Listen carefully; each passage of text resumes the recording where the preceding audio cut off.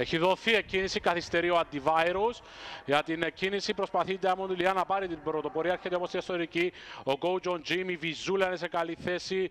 Προσπαθεί ο Αριστοτέλης, ο Τράμπα να είναι σε καλή θέση. Μαριτάς. Ο Antivirus προσπαθεί τώρα στη εσωτερική πρωτοπορία για Go John Jim.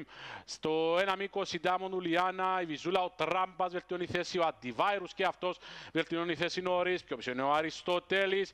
Ακόμη πιο πίσω τρέχει Μαριτάς με Βιτή Πάντα στην πρωτοπορία ο Τζο Τζιμ, Λιάνα. Στη δεύτερη θέση ο Αντιβάιρου στη εσωτερική, ο Τράμπας στη εξωτερική.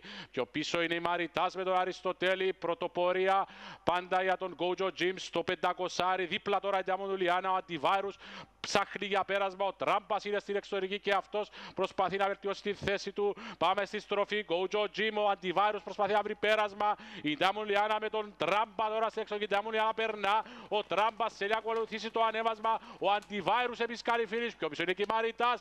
Μάχη με Ντάμου Λιάννα, Τράμπα και αντιβάιρους. Ο Τράμπα στην εξωτερική παίρνει το πλεονέκτημα. Ο Τράμπας τώρα μακρύεται. Ο αντιβάιρους προσπαθεί στη δεύτερη θέση. Ο Τράμπας όμως είναι δυνατός για να κερδίσει τον αντιβάιρους.